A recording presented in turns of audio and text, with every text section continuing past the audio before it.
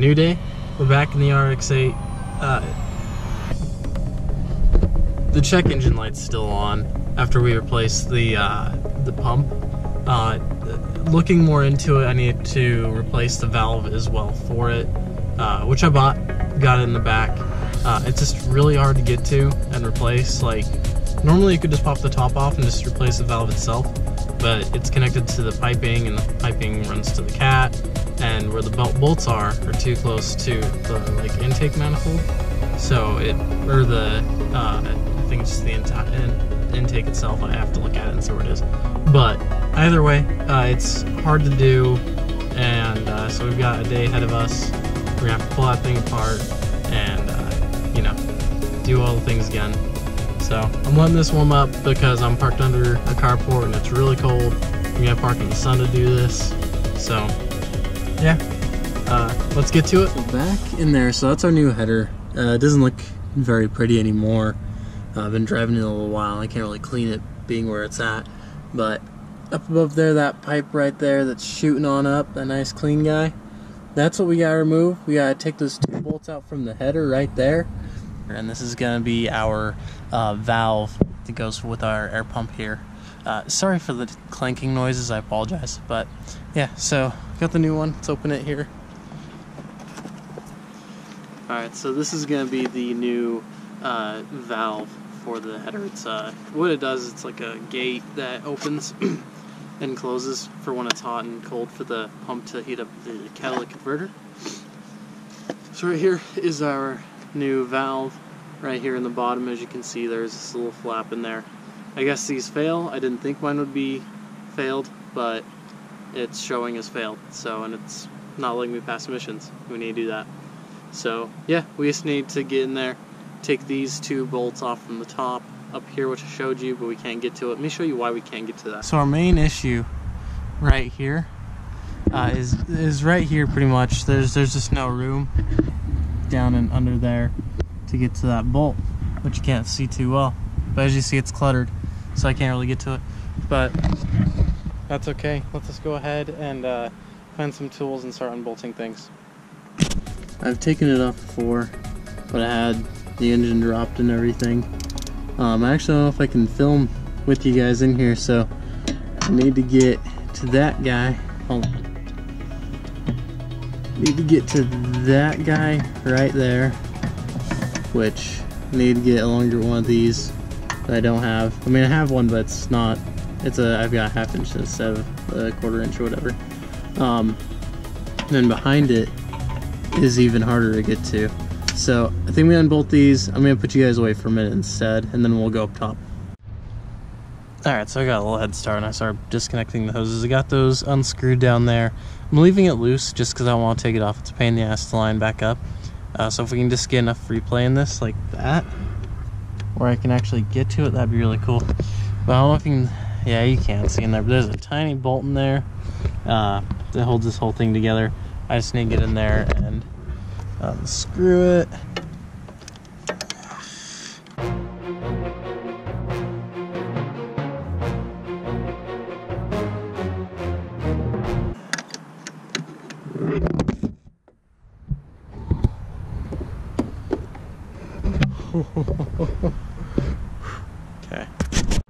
Think I found our issue. So if we take a look at this here, let me show you. So you see how it's really charred up in there and blackened? Um, I, I, don't think it's supposed to be like that. It's a whole bunch of carbon buildup, uh, a whole bunch of nonsense. We can still look at it and see if the valve is actually stuck. But I'm filling in here. Yeah, so you see that hole uh, with the fresh screws undone? Uh, that's supposed to feed to the cat to cool down from the air injection system. I'm filling in there and I don't feel any holes or anything. I think this header just has the spot for it, you know? But it doesn't actually feed anything to the cat. Um, which I could be wrong, so let's do this. See, I, have got the old cat in here still. And you see how Sorry, this thing's heavy.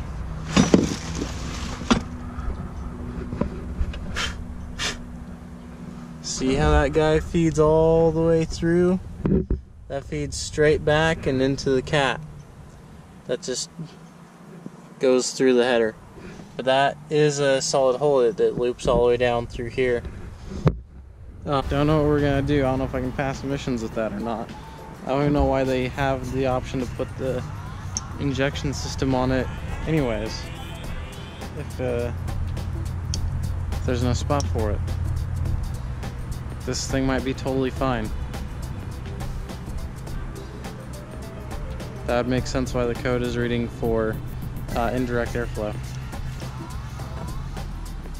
I spent a lot of money on these parts. Totaled like a few grand. Not a few grand, but like 1300 bucks or so.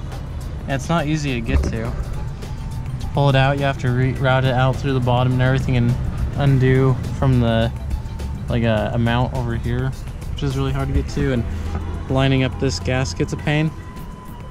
Let me look into it. Let me keep working on this. While I sit here and brainstorm, let's go ahead and swap over the new part. New parts don't hurt anyways. I'm sure this is blown as it was forcing air back at the valve, uh, which would be why we have the code.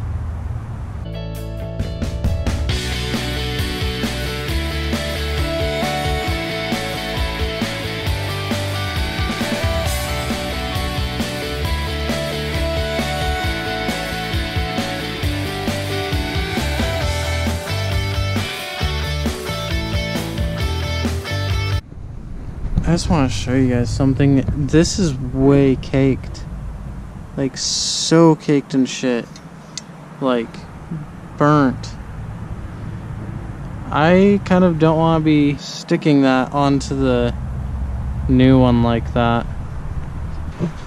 Yeah, that is definitely charred to a crisp. I mean, it's done for. I don't know if you can see on the light okay or not, but... Oh, yeah she is done compared to the other one which looks nothing like that. I mean that's fresh and clean. We're doing something wrong didn't we? Um, can't decide if I want to put the old uh, header on or not. I need to pass so I'm trying to decide what to do. But let me clean up that pipe. I'll be right back. Alright so it is a new day um, I, I had to like stop filming yesterday and and buy some parts and things to try to make this work.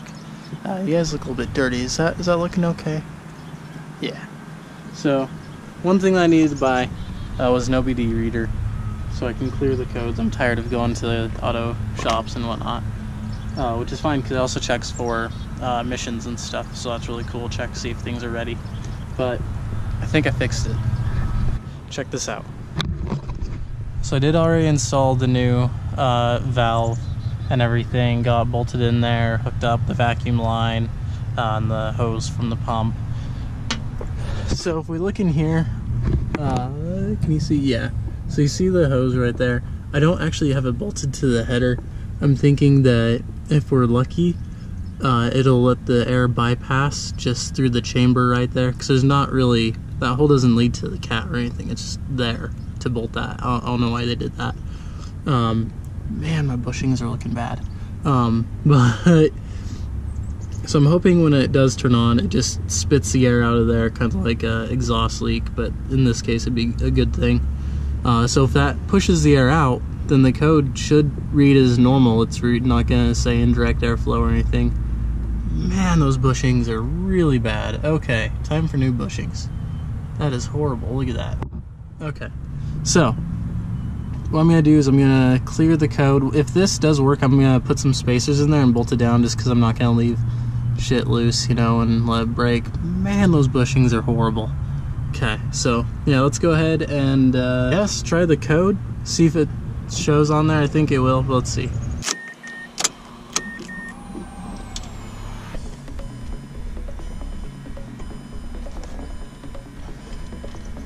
Here it is.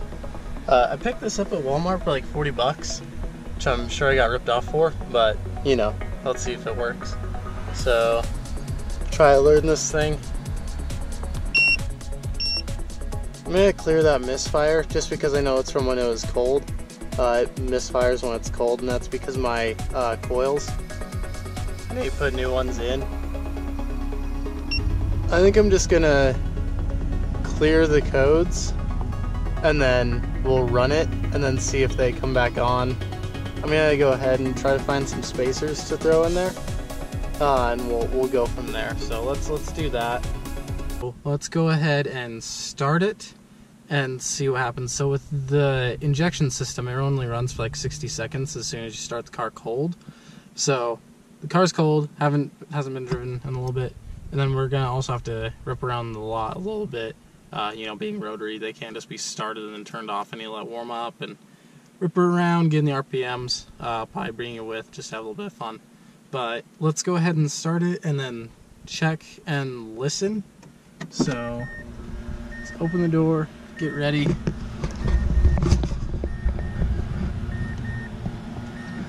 Pump our clutch a few times. I still feel like this clutch is iffy, but let our fuel pump do its thing. Uh, okay.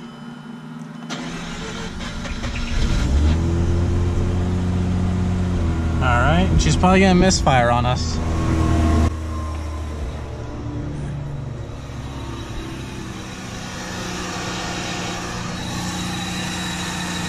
she's blowing.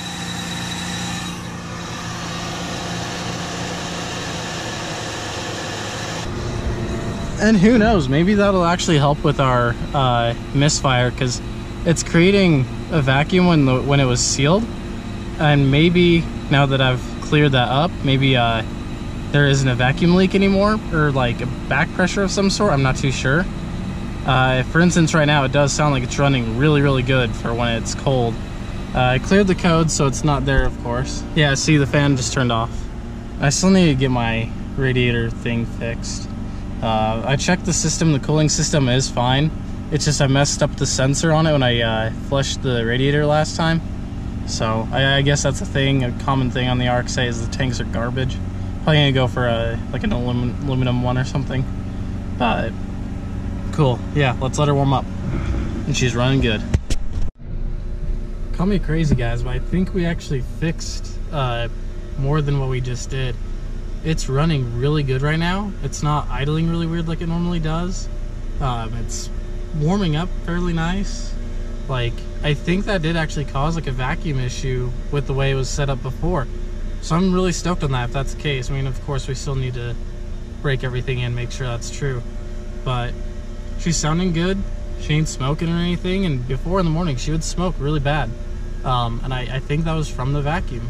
So, and it's still fairly cold today. It's like in the 50s, which, yeah, I mean, I've, I've ran it colder than that. It's had issues, but she's doing okay. Sorry for the lawnmowers in the background. Get her first. Sorry for the messy car. Been working on it. The pedal response is really good too, and I'm hearing on the forums that the pump can actually give you some, well, the air injection can give you some issues with uh, limp mode and things like that. And I'm, it feels like it's got a lot more response. She sounds better.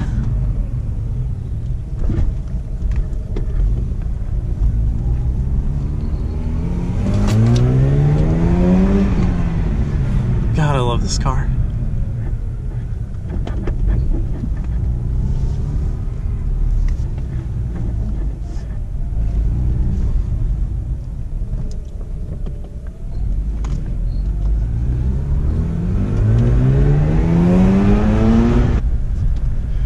now we gotta fix the Eclipse so I can sell that thing. Let's go ahead and park next to it.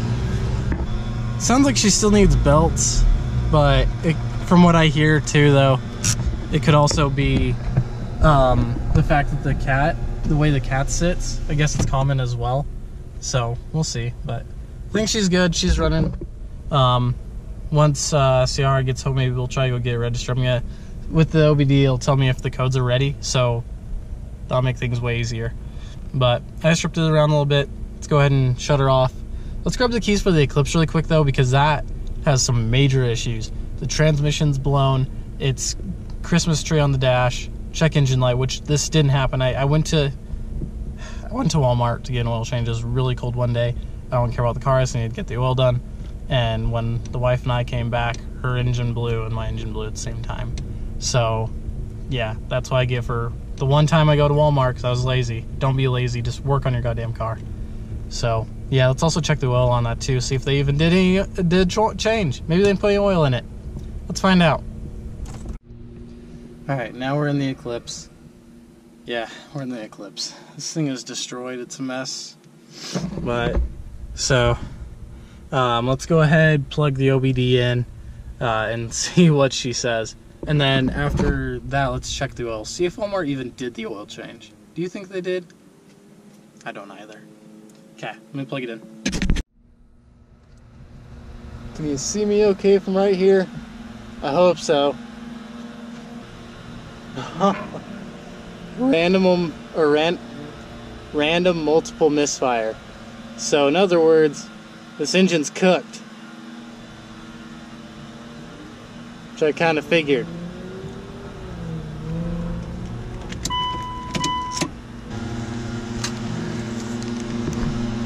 It looks pretty good actually. Maybe they did actually do the oil. Could be wrong. Wrong filter maybe though.